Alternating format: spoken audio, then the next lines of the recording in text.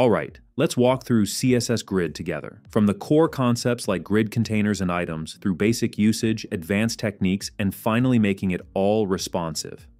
Now, when working with Grid for layouts, many people think it's very similar to Flexbox. But here's the interesting part. The module that's actually most similar to Grid is the HTML table. Both use columns and rows to arrange content, but Grid has so much more power because you can move elements anywhere you want, and it's much more optimized for responsive design. Now, let's dive into Grid together. When working with CSS Grid, we start with the concept of a grid container. This refers to the parent element that wraps around all the items inside. This container is responsible for creating the grid model with its columns and rows, here, I'm creating a container class that takes on this role. On the CSS side, we declare display grid. To manage the number of rows, we use the grid template rows property. Declaring as many values here will create that many rows. For example, I'll create three rows each with a height of 100 pixels and a fourth row at 50 pixels. Similarly, we create columns with grid template columns. I'll create three columns, each 100 pixels wide. And just like that, our grid has been created. Now, in some cases you want to manage the remaining excess space. We can easily handle this with fraction units. If I add a fourth column with a value of one fraction, that remaining space becomes the fourth column. If there are multiple columns with fraction units, say I create fourth and fifth columns both at one fraction, the remaining space divides equally between them. To make our code more concise, we can use the repeat function. For example, I can declare repeat with the first parameter as 3 and the second as 100 pixels to create three rows of 100 pixels each. The same works for columns. So if I want a 5 by 5 grid, I'll use repeat to create 5 rows of 100 pixels each, and again use repeat for 5 columns of 100 pixels each. Now grid items refer to the actual items inside our grid container. This is the website content we need to arrange. Notice our grid model creates these quadrilaterals inside, and each one represents the default position for an item. Items arrange in order from left to right. The first item goes in the first quadrilateral, then the second and third items fill the next positions. When we run out of quadrilaterals in a row, the next item moves to the next row, and so on. Thanks to this default grid behavior, for simple designs we can arrange elements using only the grid template properties without any extra work. Here's a specific example. With three items, if I want the first item to be 100 pixels wide, I just set the first column to 100 pixels. The second item gets 200 pixels because it's in the second column position, and likewise for the third item. If I want the third item to move to the second row, I just set the total number of columns to 2. Based on the grid template rows property, I can set item 1's height to 250 pixels, and item 3 in row 2 also to 250 pixels. With this method, we can create layouts without needing anything beyond the grid model, though it's best for simpler interfaces where the default item order works for us. Now, how do we move items to different locations? Let's say I want to move item 3 to the fourth column. I simply use the grid column property with a value of 4. It's that straightforward. If you want to move it to any column, just enter the column number. The same goes for moving between rows using the grid rows property. To change an item's size, grid column can take a second parameter. This parameter equals the current position plus the number of columns you want to span. So if I start at column 3 and want to span two columns, I calculate 3 plus 2, making the second parameter 5. The same logic applies to grid rows. The second parameter is the current row position plus the number of rows to span. If I'm at row 2 and want to span 3 rows, that's 2 plus 3, so the value becomes 5. This makes resizing any element quite intuitive. Similarly, I can move the second item to the fifth column in the first row, spanning two rows high. I can move item 1 to the second column, spanning two columns wide, moving to the second row, and also spanning two rows tall. Now you'll notice item 3 overlaps part of item 1. This answers the question, can we make items overlap in grid like with CSS position? Yes, by default, when items overlap, whichever comes later in the HTML appears on top. If you want to change this, use the z-index property. Any item without a declared z-index defaults to 0. So if I want item 1 to overlap item 3, I give item 1 a z-index of 1. If I want item 3 on top instead, its z-index needs to be higher than item 1's, say 2. When we level up our grid usage, we encounter the powerful grid area tools.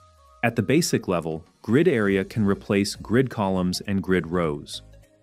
For example, grid area takes four values. The first represents grid row begin, the second is grid column begin, then grid row end, and finally grid column end. At this point, I can replace all my grid column and grid row values with a single grid area declaration.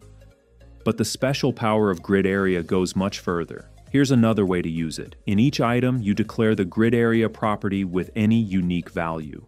Now, each item has an area identifier. From now on, when you need to edit positions or sizes, you don't manipulate each item individually. Instead, you work with the grid container via the grid template areas property. This attribute excels at managing layout through predefined areas. Let me show you how this works. We have five columns and five rows, so my grid area will have five values. Each dot represents one column. Since we have five rows, I'll repeat this pattern five times. Now to position any element, I just use its area name instead of the dots in the corresponding column and row positions. For example, if I want item 3 in the first row and first column, I replace that position's dot with item 3. Similarly, I can place item 2 in the second row and second column and item 1 right below item 2. Everything becomes much simpler and more intuitive to use.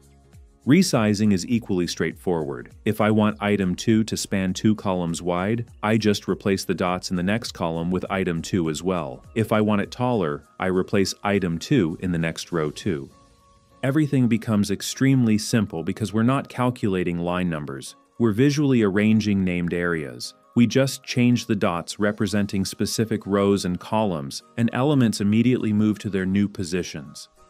The most special aspect of this approach is how it optimizes responsive design. Without grid template areas, when elements need to change position or size across breakpoints, we have to edit each item's grid column and grid row values individually.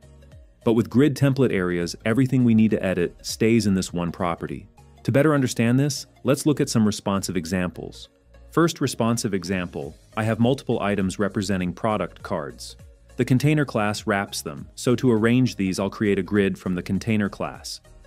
I'll create four columns, each 250 pixels wide, and use Justify Content Center to push content to the middle. I'll set the gap between columns and rows to 20 pixels. But when the screen size changes to something smaller, you'll notice the design breaks because there isn't enough space for all four columns.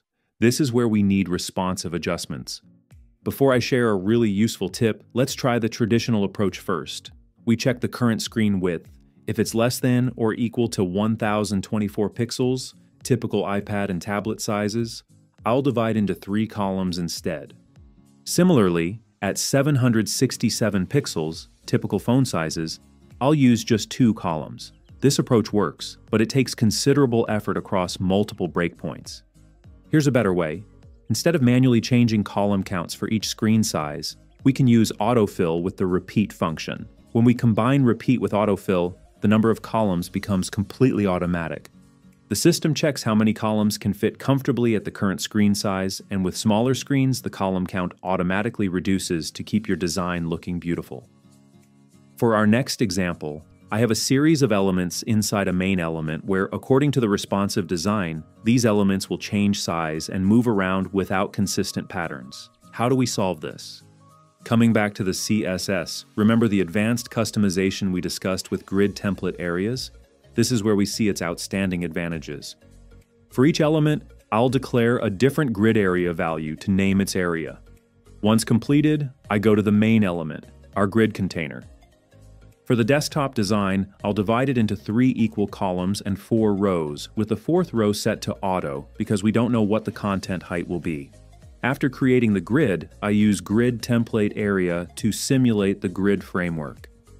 The three dots represent three columns, repeated four times for our four rows. Then I simply replace all the specific areas into their corresponding columns and rows. And it's done. When we get to other screens like tablet and mobile, thanks to using grid area, we don't need to edit each individual element. We simply call the main element again, edit the column and row parameters, and use grid template area to rebuild the layout.